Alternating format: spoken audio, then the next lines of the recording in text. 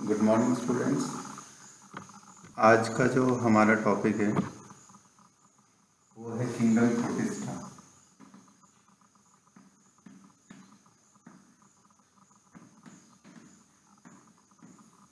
तुम लोगों को याद होगा कि लास्ट टाइम हमने जो टॉपिक पढ़ा था, वो था किंगडम होने का। और उसमें जो ऑर्गेनिज्म पढ़े थे, वो थे यूनिसेलुलर एंड प्रोकैरियोटिक आज जो किंगडम हम पढ़ रहे हैं, इसके ऑर्गेनिज्म होते हैं यूकैरियोटिक एंड यूनिसेलुलर ऑर्गेनिज्म की बॉडी एक सेल की बनी है और साथ में वो यूकैरियोटिक है। यूकैरियोटिक होने का मतलब ये है कि अब उसके पास एक वेल डिफाइंड न्यूक्लियस होगा और न्यूक्लियस अपने आप में एक ऑर्गेनली है। इसका मतलब बाकी ऑर्गेनली भी उसमें प्रेजेंट होंगे। ठीक है? इसके अलावा इनकी दूसरी फीचर्स भी होती हैं कि ज़्यादातर मेराइन होते हैं। या मेराइन भी होते हैं और फ्रेश वाटर भी होते हैं। तो ऐसा हम कह सकते हैं कि ये एक्वेटिक होते हैं। ठीक है? अब दूसरी फ़ी अगली फीचर ये है कि रिप्रोड्यूस कैसे करते हैं? या तो सेल फ्यूजन से। ठीक है? या तो सेल फ्यूजन से या फिर जाइगोट फॉर्मेशन से।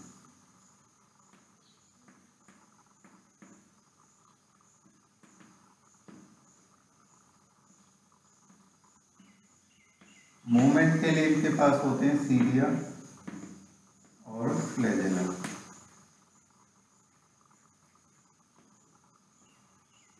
और अब आती है इसकी सबसे इम्पोर्टेंट बात। सबसे इम्पोर्टेंट बात यह है प्रोटिस्टा की ये ऑर्गेनिज्म दूसरे ऑर्गेनिजम्स को रिजेंबल करते हैं। कैसे? कुछ ऑर्गेनिज्म ऐसे होते हैं जिनको हम कहते हैं plant like protist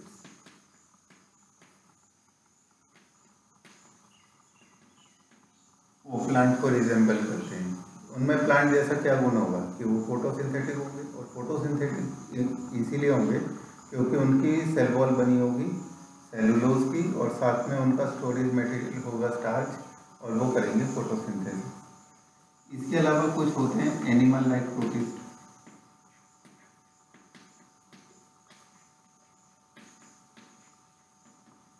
animal like protist कौन से होंगे जो एनिमल्स को रिजेंबल करेंगे? एनिमल्स को रिजेंबल करने का मतलब ये है कि वो उनका हेटेरोट्रॉपिक मोड ऑफ़ न्यूट्रिशन होगा, दूसरों के ऊपर डिपेंडेंट होंगे एनगल्फ करके ईट करेंगे, यानी कि होलोजोइक तरीके से फ़ूड इनटेक करेंगे और सेल वॉल उनकी एब्सेंट होगी। एक होते हैं फंगस लाइक प्रोटीन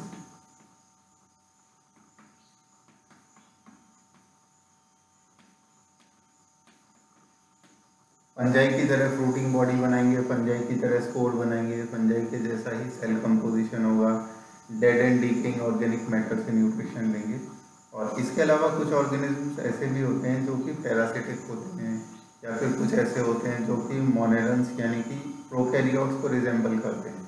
तो अलग अलग टाइप के ऑर्गेनिजम्स का एक एकोमुलेशन होने की वजह से ये वाली जो प्रोटिस्टा किंगडम है, इसकी बाउंड्रीज वेल डिफाइंड नहीं है। इसमें अलग अलग तरह के ऑर्गेनिजम्स पाए जाते हैं।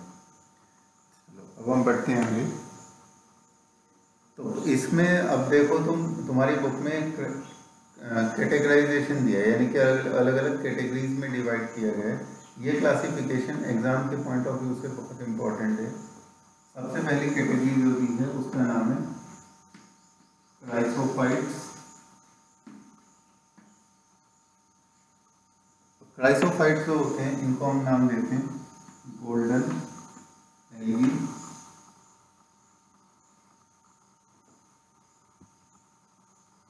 और साथ में इनको एक नाम और दिया जाता है डाइएटम्स इंपॉर्टेंट बात यह होती है कि इनकी सेल वॉल बनी होती है एक सब्सटेंस की, या फिर उनकी सेल वॉल में डिपोजिशन होता है सब्सटेंस का, जिसका नाम है सिलिका सिलिका यानी कि सिलिकन डाइऑक्साइड।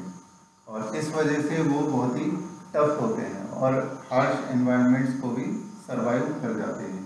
इसके अलावा अब इनमें अगली बात ये होती है, इनके पास पिगमेंट ऐसे होते हैं कि जिनकी वजह से इनको गोल्डन कहा जाता है। जब ये ऑर्गेनिज्म डेड हो जाते हैं तो इनकी जो बॉडी है, जो कि दो सोप फेस की तरह होती है कि एक सोप फेस ये है और दूसरा सोप फेस ये है। ठीक है और दोनों किसके बने हुए हैं? सिलिका के। जब ये डेड हो जाते हैं तो ये सिलिका का ये स्ट्रक्चर एज इट इज़ रह जाता है क्योंकि डिग्रेड नहीं होता। और समय के साथ जैसे जैसे ये ऑर्गेनिज्म जिनको हम डायटम्स कहते हैं, ये मरते जाते हैं एक के ऊपर एक डिपॉजिट होते जाते हैं और एक सॉलिड स्ट्रक्चर बनाते हैं, जिसको डायटोमेशियस अर्थ कहते हैं। वो इतना टफ होता है कि उससे आप क्या कर सकते हैं? कुछ इतना सख्त होता है कि उससे कुछ भी चीज़ रगड़ने का काम ले सकते हैं, यानी कि एब्रेजिव वाला फ़ंक्शन ले सकते हैं। ये वर्ड इम्पोर्टेंट है एब्रेजिव एब्रेजिव यानी कि किसी भी चीज़ को घिसने के काम आ सकते हैं।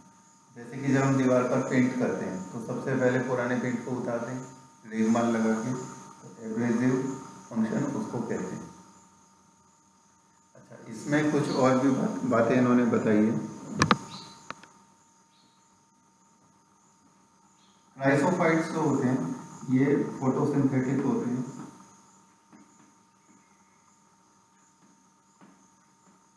और साथ में इनकी एक विशेषता और होती है कि ये के इनके पास पिगमेंट्स होते हैं फोटोसिंथेसिस कर रहे हैं तो इसका मतलब पिगमेंट्स है।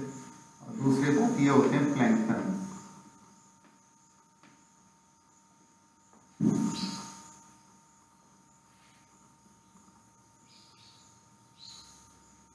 देखो प्लैंकटन्स का मतलब यह होता है कि वो वाटर के वाटर बॉडी के सरफेस पर पैसिव तरीके से तैरते रहते हैं एक्टिव तरीके से नहीं तैरते इसका मतलब ये है कि जहाँ वाटर करंट रहता है, उसके साथ ही वो बहते चले जाते हैं। सरफेस के ऊपर तैरते हैं वाटर बॉडी के। फोटोसिंथेटिक होते हैं तो सन की लाइट ट्रैप करके फ़ूड बनाते रहते हैं। तो एक इंपॉर्टेंट बात यह है कि जो वाटर बॉडीज होती हैं, वहाँ पर फ़ूड चेन के स्टार्टिंग ऑर्गेनिजम्स यही होते हैं। स्टार्टिंग ऑर्गेनिजम्स होने का क्या मतलब है? ये प्रोड्यूसर्स होते हैं। यहाँ से फ़ूड चेन एक्वेटिक हैबिटेट में स्टार्ट होती है। क्लास टेंथ में भी हमने पढ़ा। अब हम बढ़ते हैं आगे। देखो सेकंड जो कैटेगरी है, उसका नाम है डाइनोफ्लेजिलेट्स डाइनोफ्लेजिलेट्स अब ये डाइनोफ्लेजिलेट्स क्या होते हैं? डाइनोफ्लेजिलेट्स ऐसे स्ट्रक्चर होते हैं जिनके पास टू फ्लैजिला होते ये भी प्लैंकटन्स की तरह, यानी कि डायटम्स की तरह प्लैंकटॉन्स होते हैं। प्लैंकटॉन्स का मतलब क्या है? कि वो सरफेस पर रहने वाले ऑर्गेनिजम्स हैं। दो फ्लैजिला हैं, एक है बॉडी के लॉन्गिट्यूडिनल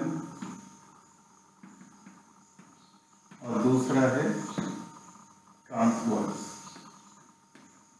इसका मतलब ये हुआ कि अगर ये ऑर्गेनिज्म की बॉडी है तो एक फ्लैजेला तो प्रेजेंट होगा ऐसे लॉन्गिट्यूडिनली और दूसरा प्रेजेंट होगा ट्रांसफर्स यानी कि ऐसे। डाइनोफ्लेजिलेट्स की दूसरी विशेषता, इनके पास अलग अलग कलर के पिगमेंट्स पाए जाते हैं। डिफरेंट पिगमेंट और इस, और ये सारे पिगमेंट फोटोसिंथेटिक होते हैं, यानी कि सन की लाइट को ट्रैप कर सकते हैं, उसकी वजह से एक्साइट हो सकते हैं। डाइनोफ्लेजिलेट्स की दूसरी बात जो तुम्हारी बुक में दी है कि ये रेड टाइड को कॉज करते हैं। रेड टाइड कॉज होती है एक ऑर्गेनिज्म से।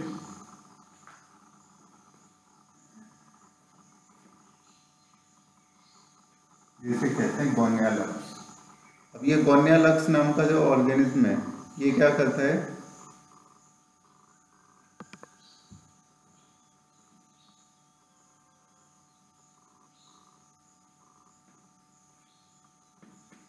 यह ऑर्गेनिज्म क्या करता है? बहुत तेज़ी से रिप्रोड्यूस करता है। और पूरे रेड कलर का तो होता ही रेड कलर का पिगमेंट इसका होता है।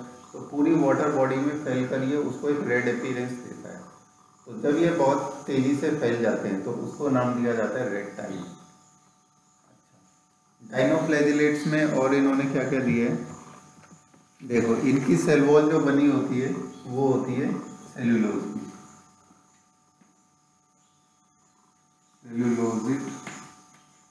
सेल वॉल अगली फीचर इन्होंने दी है ये टॉक्सिन्स रिलीज़ करते हैं और ये टॉक्सिन्स इफ़ेक्ट करते हैं अदर एक्वेटिक लाइफ दूसरे एक्वेटिक लाइफ को जैसे कि फिशेस को ये इफ़ेक्ट करते हैं। अब हम बढ़ते हैं अगली कैटेगरी की तरफ़, जिसका नाम है यूग्लिनॉइड्स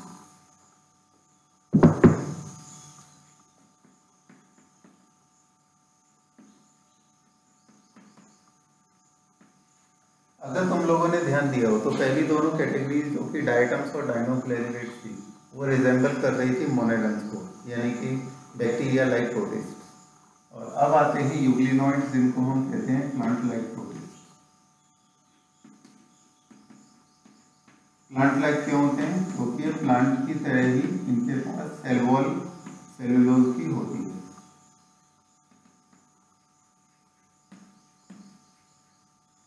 फोटोसिंथेटिक पिगमेंट्स होते हैं।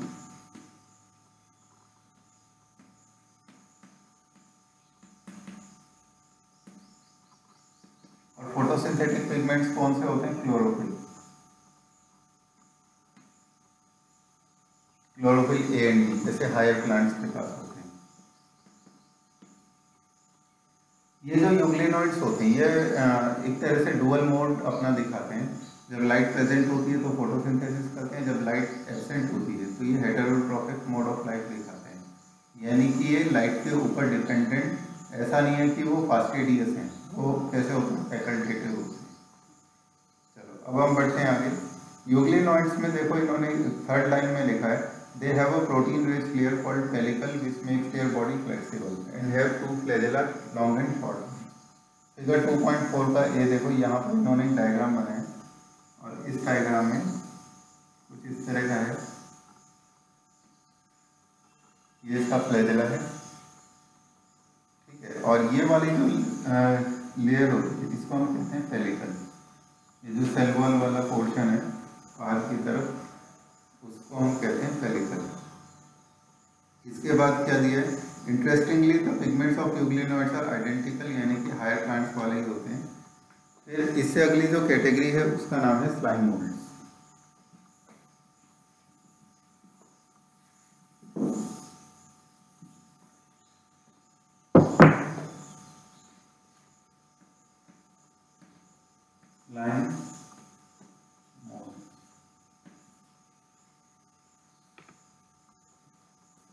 स्लाइम ऑर्गेनिज्म जो होते हैं, ये होते हैं फंजाई लाइक प्रोटीन फंजाई की तरह फ्रूटिंग बॉडीज बनाएँगे. Fruiting bodies and fruiting bodies बनाएँगे स्पोर्ट्स बनाएँगे. ठीक है? Dead and decaying organic matter से nutrition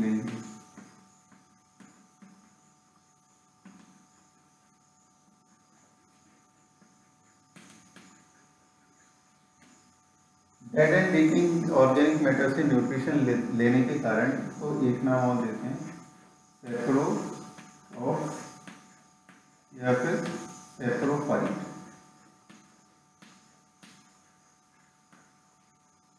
जो कि फंगस को भी कहा जाता है। इसके बाद क्या लिखा है? The body moves along decaying twigs and leaves engulfing organic material क्योंकि ये सेप्रोट्रॉपिक है। Under suitable conditions, they form an aggregation called plasmodium which may grow and spread over several feet. और प्लाज्मोडियम ऐसे स्ट्रक्चर को कहते हैं जो कि अभी वेजिटेटिवली ग्रो हुआ है स्पोर से। During unfavourable conditions plasmodium differentiates forming fruiting bodies bearing spores at their tips fruiting bodies उन स्ट्रक्चर्स को कहते हैं जिन पर कि स्पोर्स फॉर्म और डेवलप होते हैं। जैसे फ्रूट्स में सीड्स बनते हैं, उसी तरह से फ्रूटिंग बॉडीज में स्पोर्स बनते हैं। The spores possess two walls two walls का मतलब वो वॉल्स होती हैं, जिनका फ़ंक्शन क्या है? प्रोटेक्टिव है। They are extremely resistant and survive for many years जैसे फंगस के स्पोर्स होते हैं, बहुत ही ज़्यादा रेजिस्टेंट होते हैं can under adverse condition spores are disperse by air current बिल्कुल फंगस की तरह स्पोर्स डिस्पर्स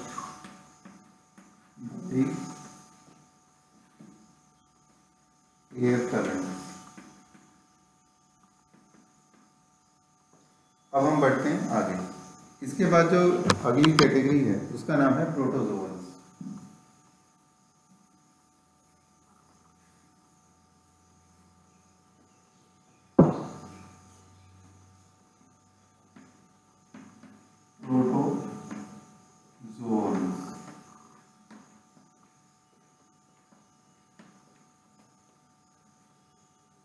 प्रोटोजोन्स जो है, इसमें, इसके नाम का अर्थ ये होता है like animals proto means life और जोन्स मीन्स होता है एनिमल्स एनिमल्स की तरह होते हैं। क्यों? क्योंकि ये फोटोसिंथेटिक नहीं है, ना ही ये सेप्रोट्रॉपिक है। न्यूट्रिशन अपना ना तो ऑर्गेनिक डेड ऑर्गेनिक मैटर से ले रहे हैं, ना ही ये सनलाइट को कैप्चर करके अपना फ़ूड बना रहे हैं। दूसरे ऑर्गेनिज्म को एंगल और डाइजेस्ट करके अपने फ़ूड बना रहे हैं। अब देखो इसमें अलग अलग कैटेगरीज हैं। इन्होंने बुक में देखो इन्होंने क्या लिखा है? दे लिव एज प्रेडेटर्स और पैरासाइट्स दूसरों के ऊपर डिपेंडेंट है, इसलिए पैरासाइट या predator कहलाएँगे। They are believe to be primitive relatives of animals primitive relative of animal यानी कि प्रोटोजोवन चार कैटेगरी पहली कैटेगरी का नाम है अमीबॉइड अमीबॉइड का मतलब होता है अमीबा लाइक प्रोटिस्ट यानी कि वो अमीबा के जैसे होंगे। यानी कि इसमें कौन कौन से ऑर्गेनिज्म आएँगे? जो कि फ्रेश वाटर सी वाटर या मॉइस्ट सॉइल में रहेंगे। और फ़ूड कैसे कैप्चर करेंगे मूव कैसे करेंगे? एक्सटेंशन इन ऑर्गेनिजम्स की विशेषता होती है स्यूडोपोडिया फॉर्मेशन जिसके यानी फॉल स्पीड जिसके थ्रू वो क्या करते हैं? फ़ूड को कैप्चर करते हैं और साथ में मूव भी करते हैं। ठीक है? इसके बाद क्या लिखा है? Some of them such as entamoeba are parasites एक ऑर्गेनिज्म है जो कि ह्यूमन बींग्स में ब्लडी डायरिया कॉज करता है। जिसका नाम है एंटमीबा हिस्टोलिटिका ये वाला जो अमीबा होता है, ये ह्यूमन बींग्स में क्या है? डिज़ीज़ कॉज करता है, यानी कि ये पैरासिटिक है, या फिर हम कह सकते हैं कि पैथोजेनिक ईएनटी e का मतलब होता है कि ये पाया जाता है हमारी इंटेस्टाइन अब हम बढ़ते हैं अगली कैटेगरी की तरफ़, जिसका नाम है फ्लैजिलेटेड प्रोटोजोवन फ्लैजिलेटेड का मतलब वो होता है जिनके पास फ्लैजिला प्रेजेंट है। और इसमें कौन से ऑर्गेनिज्म आएँगे जैसे कि ट्रिपेनोसोमा ट्रिपेनोसोमा वो ऑर्गेनिज्म है जो कॉज करता है स्लीपिंग सिकनेस स्लीपिंग सिकनेस और ये जो ट्रिपेनोसोमा नाम का पैथोजन है या फिर है इसको फैलाने वाले जो फ्लाई है, उसका नाम होता है सीसी फ्लाई सीसी फ्लाई कई बार ये क्वेश्चन आ जाता है.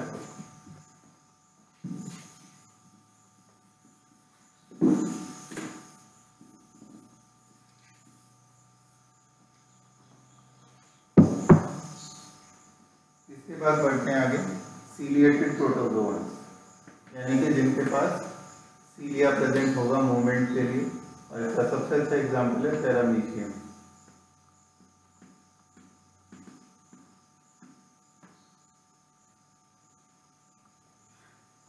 देखो, इन्होंने फ़र्स्ट लाइन में लिखा है these are aquatic actively moving organism because of the presence of thousands of cilia जैसे अगर हम पैरामीशियम का डायग्राम बनाए तो वो कुछ इस तरह का होगा। और साथ में ये बताए कि इनके पूरे सरफेस पर तरह से सीलिया प्रेजेंट होते हैं। ये इसकी शेप बिल्कुल ऐसी होती है जैसे कि कोई स्लीपर यानी कि चप्पल होती है। और इस वजह से इस ऑर्गेनिज्म को स्लीपर एनिमल फ्यूल भी कहते हैं। स्लीपर एनिमल फ्यूल यानी स्लिपर लाइक ऑर्गेनिज्म इसके बाद इसके पास एक स्ट्रक्चर होता है जिसको कहते हैं गलेट गलेट एक माउस जैसी ओपनिंग होती है, जहाँ से वाटर करंट अंदर आता है और अपने साथ फ़ूड लेके जाता है। ठीक है? अब ये ऑर्गेनिज्म कैसा है? ये यूकैरियोटिक है। इसीलिए अंदर जाने पर इसके जो अलग अलग ऑर्गेनलीज हैं, ये फ़ूड को डाइजेस्ट करने में हेल्प करते हैं।